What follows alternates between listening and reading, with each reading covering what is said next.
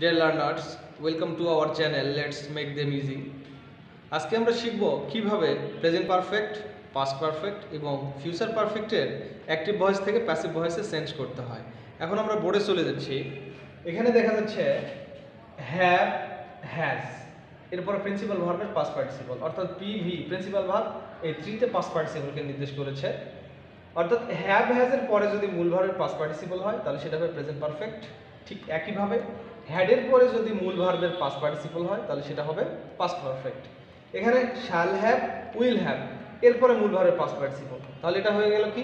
Past perfect এখানে আমরা একটা জিনিস একদম কনস্ট্যান্ট পাচ্ছি, সেটা হচ্ছে প্রেজেন্ট পারফেক্ট টেন্সেও ভার্বের পাস্ট পার্টিসিপল পাস্ট পারফেক্টেও ভার্বের পাস্ট পার্টিসিপল ফিউচার পারফেক্টেও ভার্বের পাস্ট পার্টিসিপল সুতরাং আমরা বলতে পারি পারফেক্ট অর্থই হচ্ছে মূল ভার্বের পাস্ট পার্টিসিপল এবং এটার একটা সুবিধা হচ্ছে অ্যাক্টিভ থেকে প্যাসিভ করার সময়ও কিন্তু ভার্বের পাস্ট পার্টিসিপল ইউজ করতে হয়। কিন্তু সেই পাস্ট পার্টিসিপল এখানে দেয়া আছে। এটা একটা বড় ধরনের সুবিধা এই পারফেক্টের এখন আমরা বোর্ডে দেখব কীভাবে প্যাসিভের স্ট্রাকচারটা দেয়া আছে। এখানে অবজেক্ট সাবজেক্ট এখানেও তাই অবজেক্ট সাবজেক্ট এখানেও তাই অবজেক্ট সাবজেক্ট সুতরাং টেন্স রিলেটেড যে ভয়েসগুলো হয়, প্রত্যেকটা ভয়েসের অবজেক্টটা প্রথমে সাবজেক্ট হয় এবং সবার শেষে সাবজেক্টটা অবজেক্ট হয়।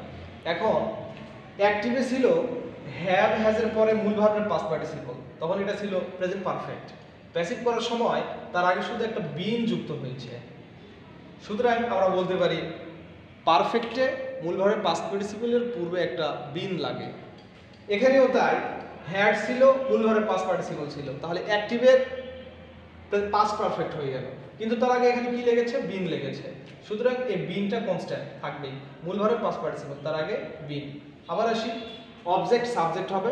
প্রেজেন্ট পারফেক্টের যদি চেঞ্জ করি, তাহলে হ্যাভ অথবা হ্যাজের পরে একটা বিন মূল ভার্বের পাস পার্টিসিপল বা একটা প্রিপোজিশন সাবজেক্ট অবজেক্ট পাস্ট পারফেক্টের ক্ষেত্রেও ঠিক এক। হ্যাডের পরে বিন এরপরে মূল ভার্বের পাস পার্টিসিপল বা একটা প্রিপোজিশন সাবজেক্ট অবজেক্ট অর্থাৎ এই জিনিসগুলো কনস্ট্যান্ট একদম ফিক্সড থাকবে। বিনের পরে মূল ভার্বের পাস পার্টিসিপল এবং পাস পার্টিসিপলের পরে বা একটা প্রিপোজিশন প্রত্যেকটা।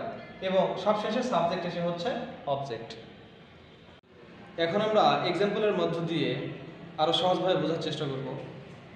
গিভেন সেন্টেন্সটা এরকম আই হ্যাভ বট মোবাইল বাইয়ের পাস পার্টিসিপল বট, আমি একটা মোবাইল কিনে আছি। তাহলে এটা যদি আমরা প্যাসিভ করি, তাহলে এ মোবাইল এটা হচ্ছে অবজেক্ট এই অবজেক্টটাকে আমরা যথারীতি সাবজেক্ট করে নিয়েছি, এ মোবাইল সিঙ্গুলার বোঝাচ্ছে যার কারণে এখানে হ্যাজ ইউজ হলো। হ্যাজের পরে বিন বিনের পরে মূল ভাবের পাস পার্টিসিপল যেটা আমি বলেছিলাম যে গিভেন সেন্টেন্সে মূল ভাবের পাস পার্টিসিপল দেয়াই থাকে, ঠিক এটা এখানে ইউজ হয়েছে মূল ভাবের পাস বা একটা প্রিপোজিশন এরপরে সাবজেক্ট ছিল আই তার অবজেক্টটা মি হয়ে গেছে।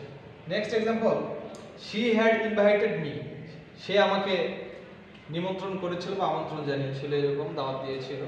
তাহলে মি অবজেক্টটাকে আমি সাবজেক্ট করে নিলাম আই পাস্ট পারফেক্টে আছে, তাই হ্যাড আই হ্যাড এরপর একটা বিং লাগে বিং মূল ধরে পাস পার্টিসিপল ইনভাইটেড ইনভাইটেড এরপরে শির বাই একটা প্রিপোজিশন ইউজ করলাম শির অবজেক্টটা হ্যাঁ এক্সাম্পলগুলোর সঙ্গে পরিচিত হওয়া যায় Shafi will have visited the Taj Mahal will হ্যাভের পরে মূল ভার্বের পাস পার্টিসিপল সুতরাং এটা ফিউচার পারফেক্টে আছে। এটাকে আমরা চেঞ্জ করব। তাহলে দ্য তাজমহল এটাই হচ্ছে অবজেক্ট এই অবজেক্টটাকে আমরা যথারীতি সাবজেক্ট করে নিয়েছি। সাবজেক্ট হয়ে গেছে। এরপরে সিঙ্গুলার যার কারণে উইল হ্যাভ এরপরে একটা বিন লেগেছে। বিন ইউজ করার পরে আমরা কি করি? মূল ভার্বের পাস পার্টিসিপল আমি যথারীতি জায়গায় রেখেছি। বা একটা প্রিপোজিশন সাফি সাবজেক্ট অবজেক্টটাও সাফি। Next example Rocky has prepared lesson Rocky part তৈরি করেছে বা পড়া তৈরি করেছে লেসন তৈরি করেছে।